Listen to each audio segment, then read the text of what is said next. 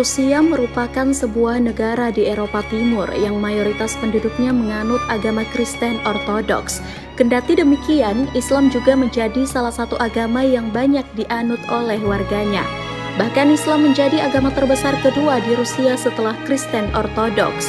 Pada 2018, umat muslim di Rusia diperkirakan mencapai 28 juta jiwa atau sekitar 20% dari total populasi Rusia. Apabila menilik sejarahnya, Rusia memang menjadi salah satu kawasan di Eropa yang pernah menyaksikan era kejayaan Islam selain Spanyol. Diketahui, Islam sudah memasuki tanah Rusia sejak awal masa Hijriah. Dakwah tersebut dipelopori oleh Ahmad bin Fadlan, salah seorang utusan dari Daulah Abbasiyah.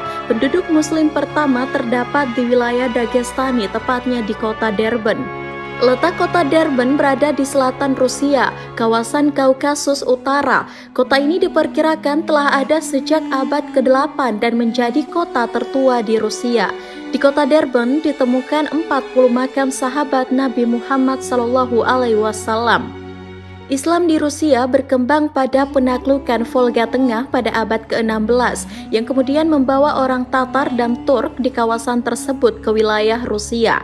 Pada abad ke-18 dan ke-19, penaklukan Rusia di Kaukasus Utara juga menambah daftar panjang penyebaran Muslim. Umat Muslim dari Dagestan, Chechen, Sirsasia, Ingus, dan lain-lain menyebar ke daerah dan pelosok Rusia.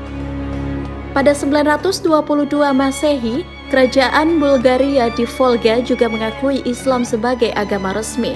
Pada saat itu pemerintah mereka dipimpin oleh Almis.